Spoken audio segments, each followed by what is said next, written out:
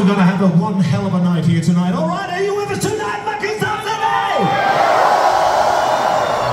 Sounds good. Sounds great. We're gonna continue with a song from the Moonglow album. It's gonna feature a good friend of mine, Mr. Tobias Sammet.